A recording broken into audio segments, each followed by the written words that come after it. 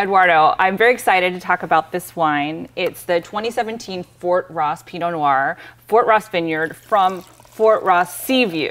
AVA. AVA. Which is reflective of the of the California kind of bounty, the Sonoma coast. Yes. Fog line is, is very important here, but also it's the closest vineyard to the Pacific Ocean, right? In all of California. Everywhere. Yeah. It's like very fun, reflective, high altitude, which gives this depth into the berries. I feel like it, it gives it a little more depth, um, some color.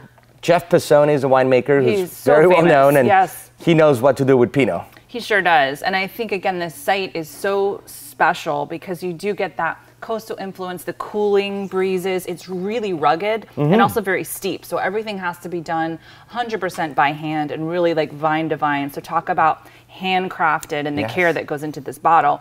And I feel like I can taste that care. This is an absolute delicious wine. It's beautiful. It tends to go to me to like the black fruit and Earl Grey tea, Oh, like yeah. kind of depth, very um, exotic in some way. It does have some exotic spice, kind of brambly fruit too, which makes sense with this sort of. It's a very wild site, and you know, there's actually not that much planted under vine in in this AVA. I think it's like two percent is is under vines. And it's only.